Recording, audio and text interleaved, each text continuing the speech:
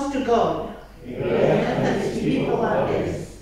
How good and lovely it is to live together in unity.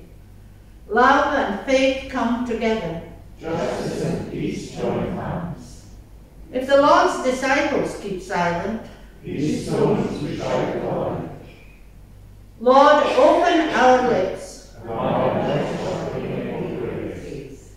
Glory to the Father, and to the Son, and to the Holy Spirit, as it was in the beginning, is now, and will be forever. Amen. We stand to sing hymn 201 in the books, Worship the Lord in the Beauty of Holiness, and of course it's on the screen.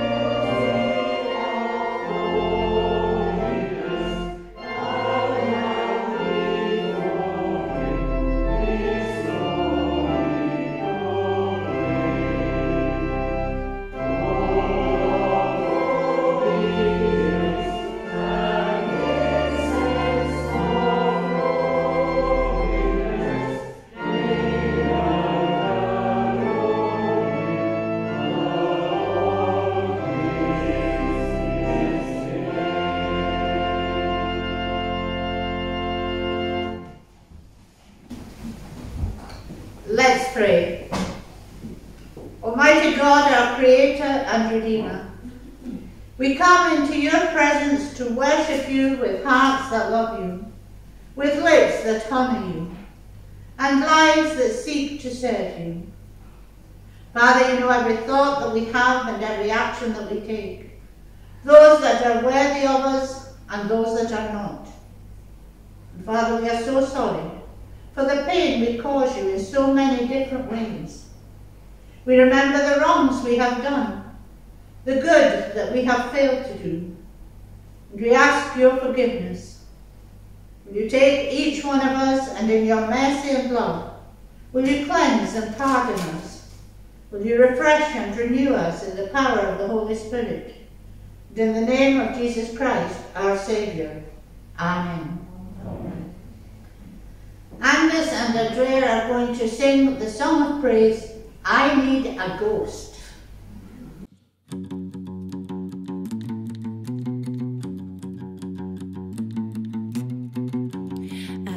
The smoke or mirrors, cause I know there's a God who's real.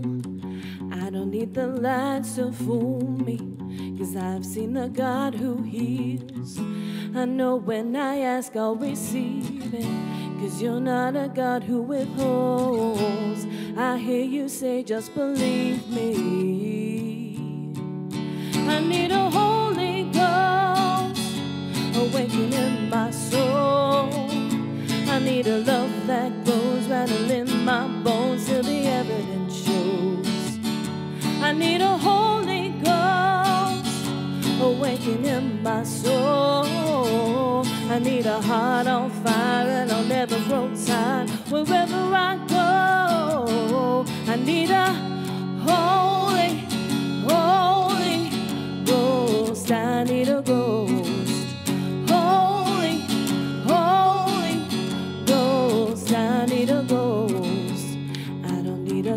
counterfeit comfort. Cause there's nothing this world remains. I need something stronger than lightning flowing inside these veins. And when I ask, I receive it. Cause you're not a God who withholds. I hear you say, just believe me. I need a Holy Ghost awakening in my soul. I need a love that goes rattling my bones till the evidence shows. I need a Holy Ghost awakening in my soul. I need a heart on fire that'll never grow tired wherever I go. I need a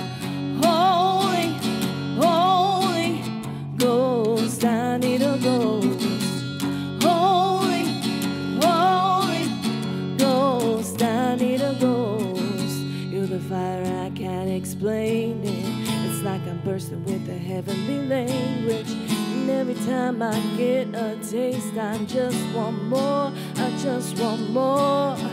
You're the kingdom that's been growing inside me. It's like the lion's where it wants to revive me. And every time I get a taste, I just want more. I need a Holy Ghost awakening in my soul. I need a love that grows rattling my bones till the evidence shows. I need a Holy Ghost awakening in my soul. I need a heart on fire that'll never grow tired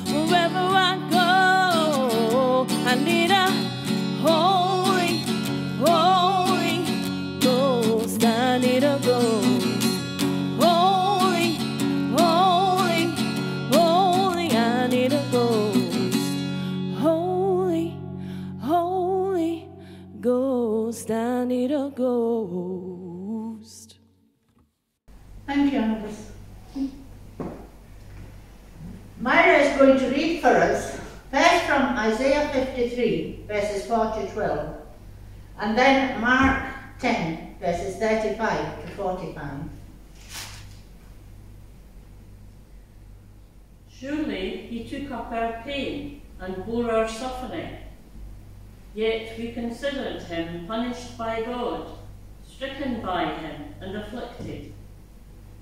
but he was pierced for our transgressions. He was crushed for our iniquities.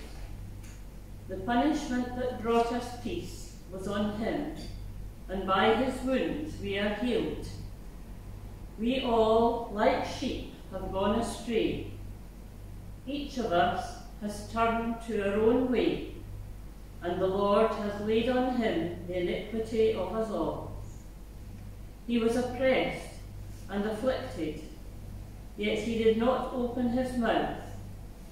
He was led like a lamb to the slaughter, and as a sheep before its shearers is silent, so he did not open his mouth.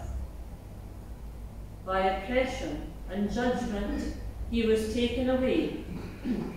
Yet who of his generation protested? For he was cut off from the land of the living. For the transgression of my people he was punished. He was assigned a grave with the wicked and with the rich in his death. Though he had done no violence, nor was any deceit in his mouth. Yet it was the Lord's will to crush him and cause him to suffer. And though the Lord makes his life an offering for sin, he will see his offering, his offspring, and prolong his days, and the will of the Lord will prosper in his hand. After he has suffered, he will see the light of light and be satisfied. By his knowledge, my righteous servant will justify many, and he will bear their iniquities. Therefore, I will give him a portion among the great, and he will divide the spoils with the strong, because he poured out his life unto death, and was numbered with the transgressors. For he bore the sin of many, and made intercession for the transgressors. And from Mark 10, verse 35 to 45. Then James and John, the sons of Zebedee, came to him. Teacher, they said, we want you to do for us whatever we ask. What do you want me to do for you? he asked. They replied, Let one of us sit at your right and the other at your left in your glory. You don't know what you are asking, Jesus said. Can you drink the cup I drink, or be baptized with the baptism I am baptized with? We can, they answered. Jesus said to them, You will drink the cup I drink, and be baptized with the baptism I am baptized with. But to sit at my right or left is not for me to grant. These places belong to those for whom they have been prepared. When the ten heard about this, they became indignant with James and John. Jesus called them together and said, You know that those who are regarded as rulers of the Gentiles lord it over them, and their high officials exercise authority over them. Not so with you. Instead, whoever wants to become great among you must be your servant, and whoever wants to be first must be slave of all. For even the Son of Man did not come to be served, but to serve, and to give his life as a ransom for many. Amen. Thank you, Mayor.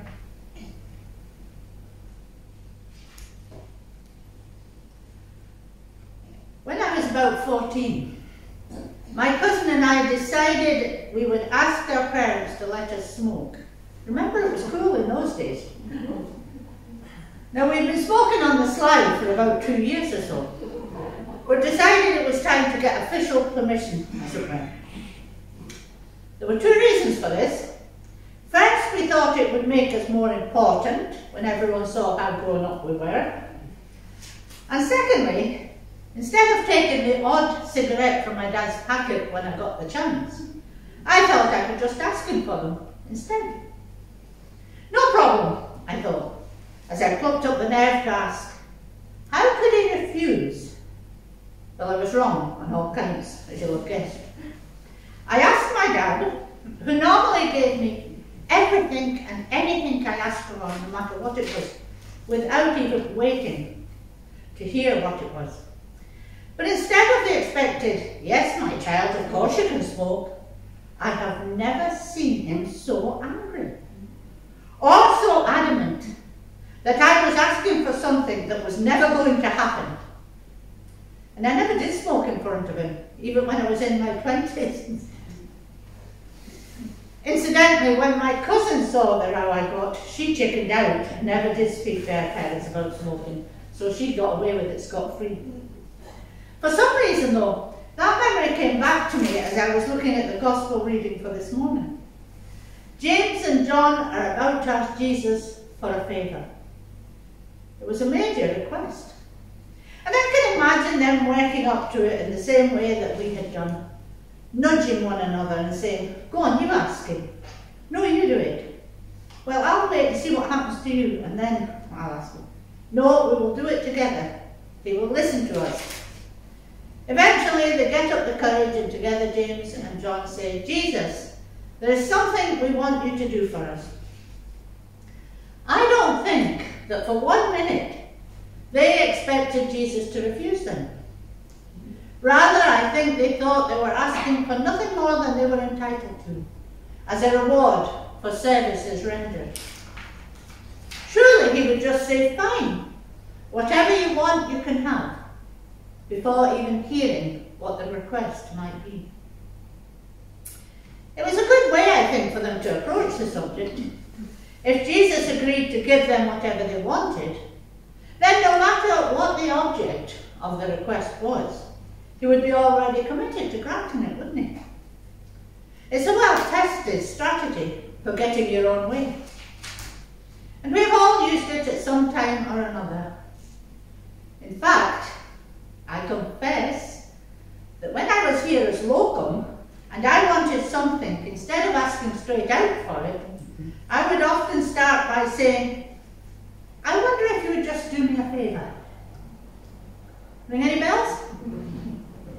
And to your credit, the answer was always yes, of course, before you ever found out what it was I wanted. But then, of course, I never asked for the impossible, or for anything that was not in your power to provide. James and John, on the other hand, totally misjudged the outcome when they asked Jesus for their favour. Instead of saying yes immediately, before even hearing what he was being asked for, Jesus waits. He waits for them to come clean.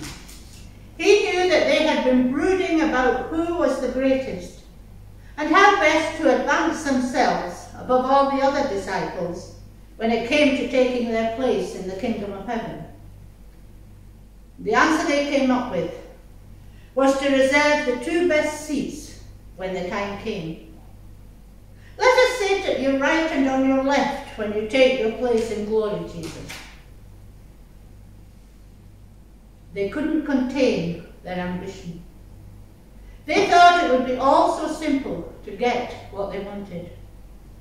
Unfortunately for them, there was two things that stood in the way of James and John ever receiving that kind of power and status. First of all, it wasn't in Jesus' power to grant such a request. And secondly, what they asked for went against every principle of what the kingdom of heaven is all about. It makes you wonder if James and John had ever listened to anything that Jesus had been teaching them in all that time as his disciples.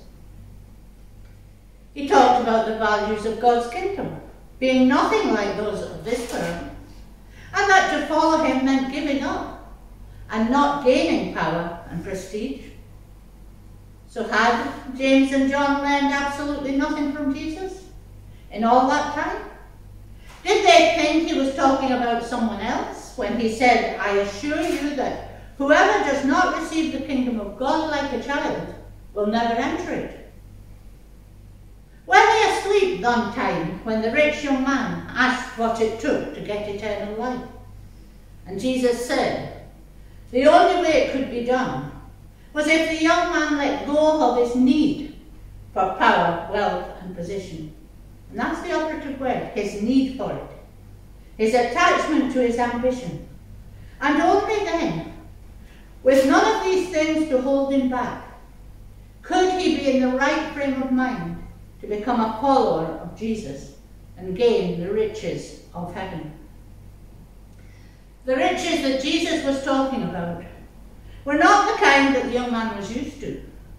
They couldn't be bought with silver or gold, nor could they be claimed by right someone's position in life or social standing. But sadly, it seems James and John didn't think that any of that and any of what Jesus had been teaching about these things applied to them. I know Christians like that, and so do you, who think they can use their worldly wealth and social standing to further their ambitions in the church.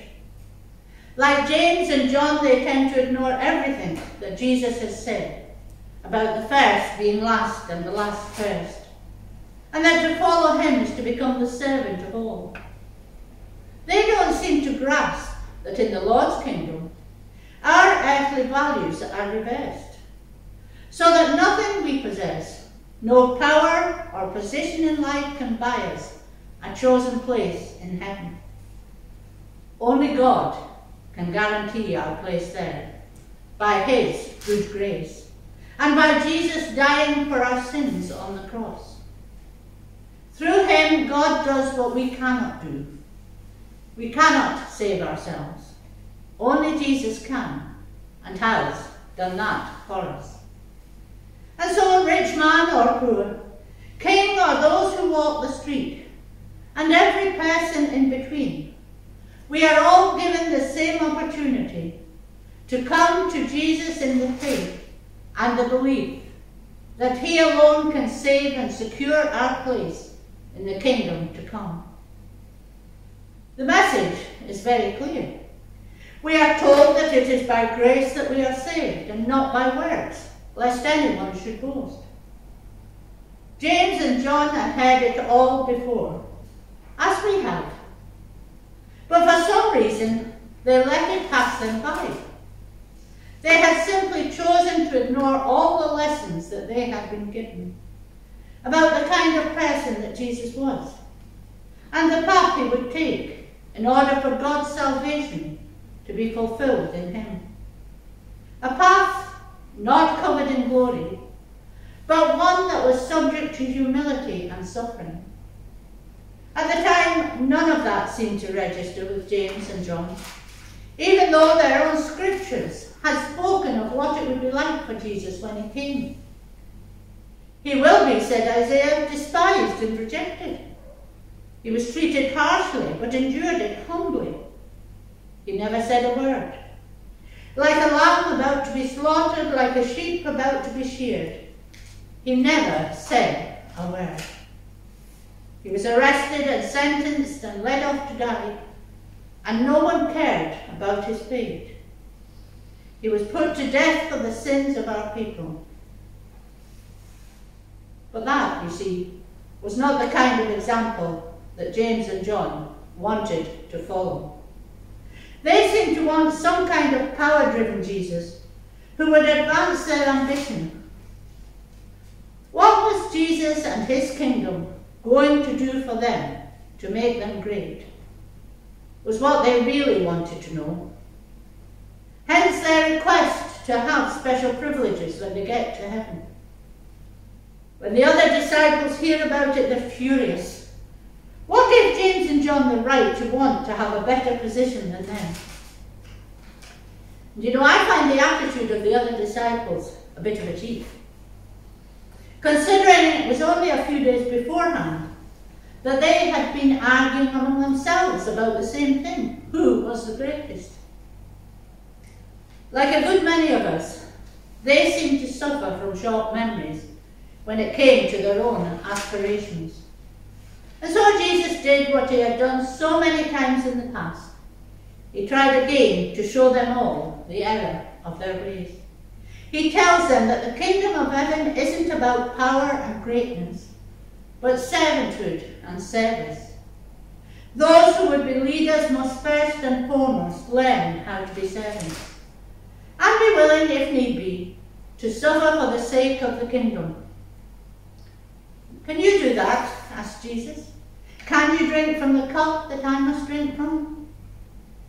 Without even thinking about it, they say, Yes, sure we can. And you know, I'm sure at the time the two disciples meant it because they still didn't have a clue about the extent of what lay ahead for Jesus by way of suffering and death on a cross. No doubt they thought, whatever it is, how bad can it get? We've already suffered before for Jesus. What about that time when the crowds turned against us? We did okay then. We can take whatever comes our way.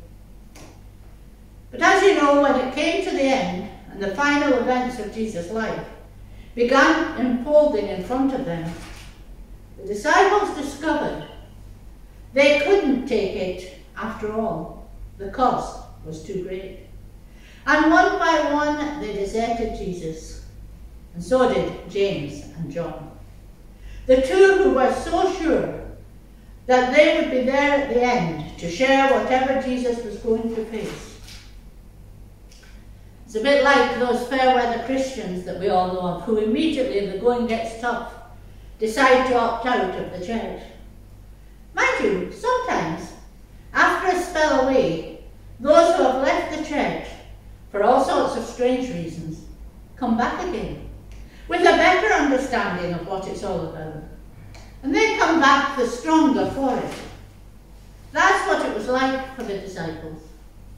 If you remember, all except Judas came back after the crucifixion to be followers of Jesus.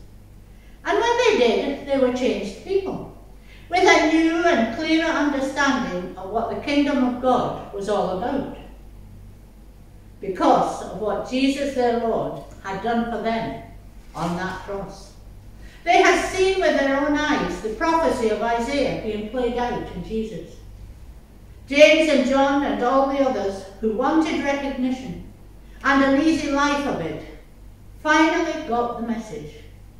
And following the Lord, they too accepted the way of the cross. They did exactly as Jesus said they would drink the cup he would drink, and be baptized as he was baptized. Eleven of those twelve disciples did at the end die for the kingdom and for their role in preaching the gospel of Jesus Christ. Only John died a natural death of old age, but not after many near escapes. But as we know, death wasn't to be the end of the story for any of them. Not for Jesus and not for his disciples. There was the resurrection to follow, and subsequent appearances of Jesus to his followers. Certainly, it had taken James and John, and no doubt the other disciples as well, a while to get the message. But once they had, they never forgot the true meaning of greatness in the kingdom of heaven as it was defined by Jesus, excluding things like power, greed, ambition, and status, and being first in the queue, and instead including the virtues of love and humility and service, of kindness, meekness, and mercy, compassion, putting others first and following the example of Jesus, so that the first indeed become last and the last first. And any one of us who in faith tries to put those qualities into practice into our lives is considered great in God's kingdom. We have Jesus' word on that. Amen. We are going to sing and we're going to sing, it's 436 in the book, Christ triumphant.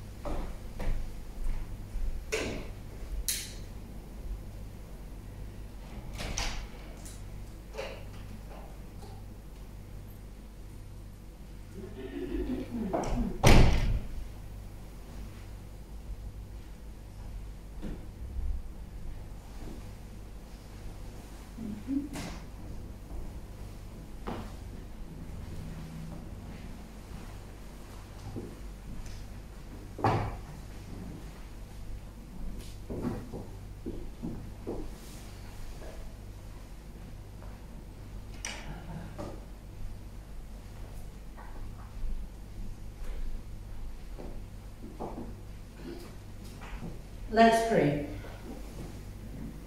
God our Father, in glad thanksgiving and praise, we bring our offerings to you. Our money given in the plate and electronically as a token of our gratitude for all that you have given to us in Jesus our Saviour. And along with that, we bring our lives, that they may serve you, following Jesus' example who came to be servant of all. And we bring you our love, in response to the love that Jesus showed for us on the cross.